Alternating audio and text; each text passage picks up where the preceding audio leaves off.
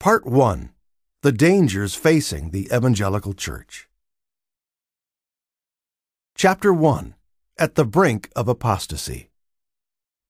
Having a form of godliness, but denying the power thereof, from such turn away. For of this sort are they which creep into houses, and lead captive silly women laden with sins, led away with divers lusts, ever learning, and never able to come to the knowledge of the truth.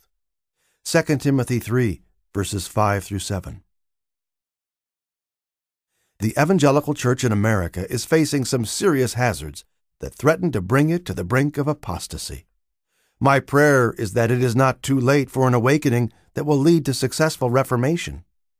My use of the term evangelical includes all churches that are fundamental, full gospel, holiness, Anabaptist, and Pentecostal. All evangelical churches that believe the Bible and proclaim Jesus Christ to be the only Savior of the world. I have nothing to say to any other church. It is amazing to me how divided is the evangelical church in America, which reminds me of my mother's old fashioned apple pie. No matter how thin you slice the pie, every slice believes it is better than the rest of the pie. Even though the pie includes the same ingredients, goes through the same process, and bakes in the same oven, each piece feels superior to the other piece. A stanza of the hymn Onward Christian Soldiers by Sabine Baring Gould, 1834 to 1924, says it as it ought to be. Like a mighty army moves the church of God. Brothers, we are treading where the saints have trod. We are not divided, all one body we, one in hope and doctrine, one in charity. The meaning of the words in this hymn is where God would have us stand as His church in this generation. Let me go out on a limb a little bit and prophesy. I see the time coming when all the holy men whose eyes have been opened by the Holy Spirit will desert worldly evangelicalism one by one.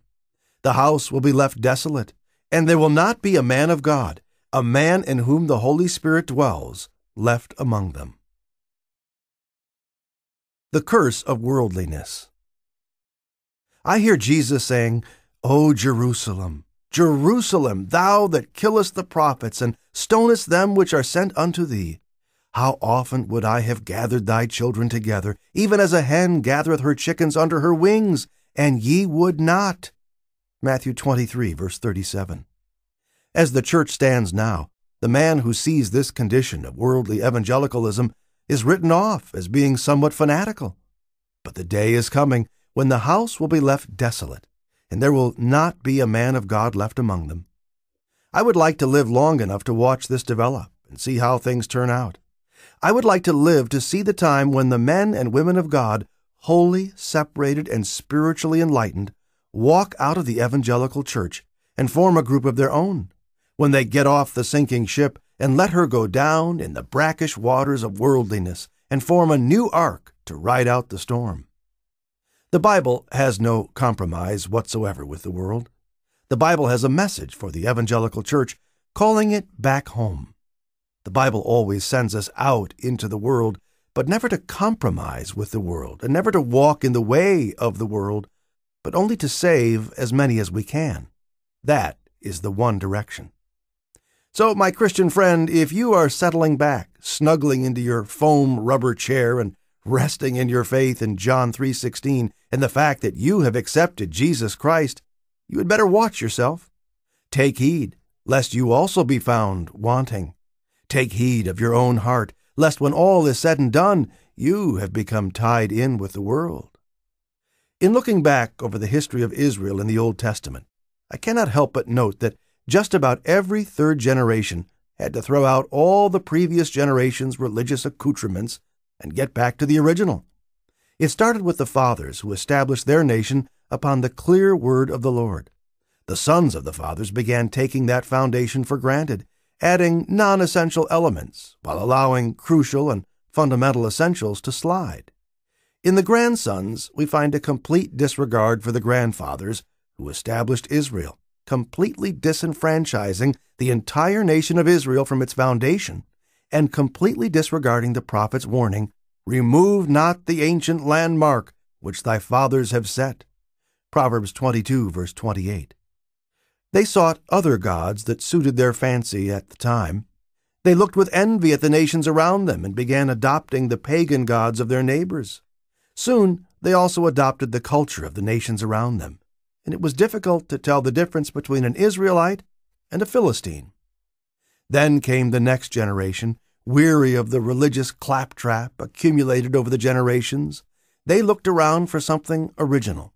Invariably, they would stumble upon the word of the Lord, and in a desperate move, they would clear away all of the religious paraphernalia that had been a part of the previous generation. That which was once mighty and dynamic was returned to with a great deal of anticipation by the younger generation. Today we would call it an awakening or a revival. A true revival or awakening leads to drastic reformation. It is often the younger generation that sees through the maze of deception and corruption and longs for something original, something with substance. Not only was this true of ancient Israel, but it is also true of the church. Church history reveals this pattern in almost every generation. When there was a move of God among a group of people, they became so plagued with holy desire that movements, we call them revivals or awakenings, began sweeping men and women into the kingdom of God.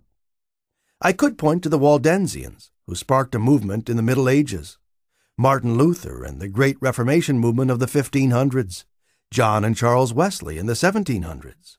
Out of their fiery passion for God came a great movement known as the Methodists, which saved England from a national disaster. These great movements were not only owned by God, but were surely started by God, who found hearts hungry for something only God could provide.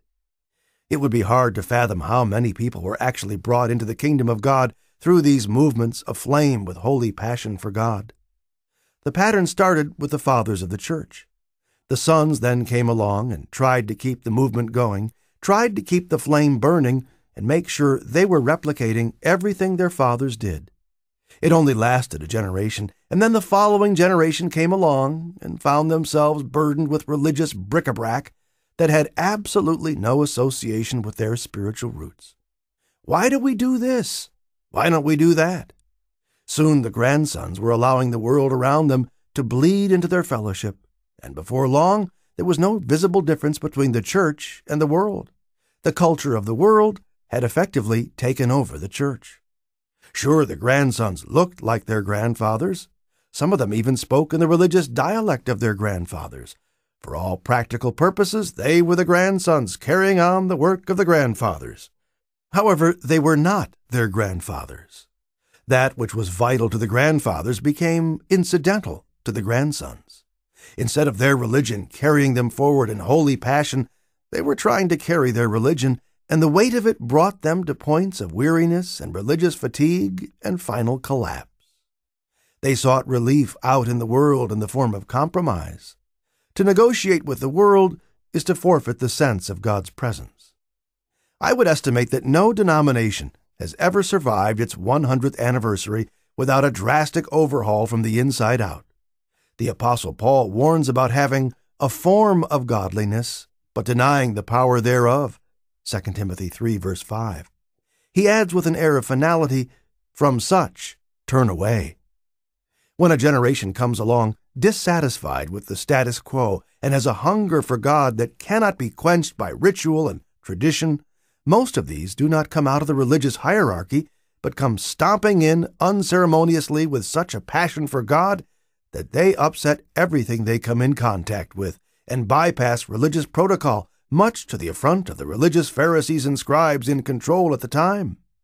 The religious leaders condemn them and try to put them out of the church. However, they are the church, and they inflame a new generation with a holy passion for the person of God that cannot be quenched. This is where the evangelical church of our generation is. We are facing such jeopardy, and for the most part, nobody is enumerating those dangers. I want to share a little bit of my insight into this, and perhaps my meager efforts can stir up within the hearts of a new generation a longing and passion for that reality which only comes from an intimate and personal relationship with God through the Lord Jesus Christ. As I look at the evangelical church today, I see several issues that need to be addressed. The first issue is the spirit of Babylon. The haunting spirit of Babylon. I believe the spirit of Babylon is invading the church today to the point of controlling it.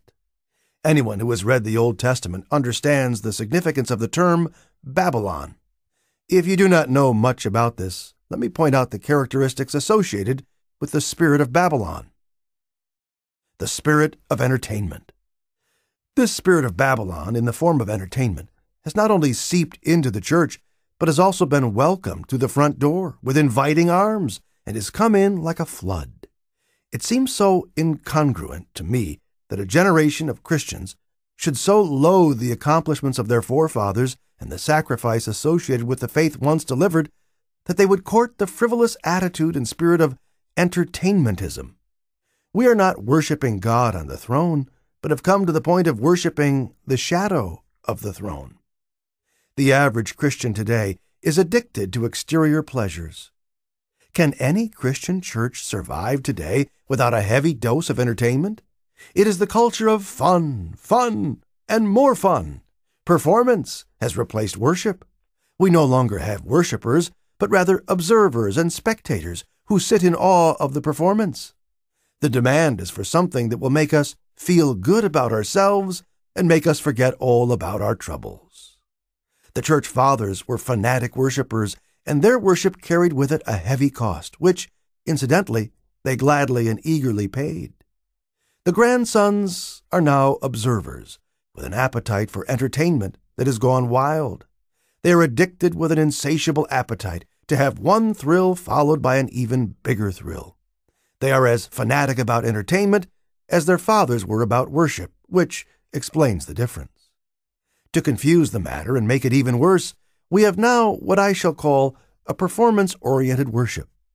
Just because you tack the word worship onto a phrase does not mean that it is worship acceptable to God. We dance before God, wearing our silly little costumes and doing our silly little jingles, thinking that this in some way impresses the God Almighty, creator of the heavens and the earth? The church fathers came into the presence of God with a sense of overwhelming reverence, which captivated them and brought them before God in holy silence. What has happened to reverence today? Where are those who get caught up in the spirit of reverence before their God? Where are those who have experienced the holy hush in the presence of God? Then we have celebrities who are leading our so called worship today. This mirrors the culture around us. To be a leader in the church, a man does not have to have spiritual qualifications as much as a personality and a celebrity status. The converted football player wields more influence in churches today than the man who is before God on his knees with a broken heart for his community.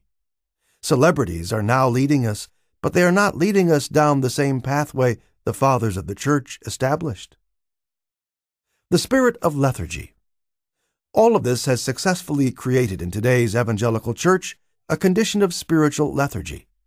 Because the word lethargy is not in common use, I probably need to outline a little bit of what I mean. By lethargy, I mean living on yesterday's momentum. That seems to explain the condition today.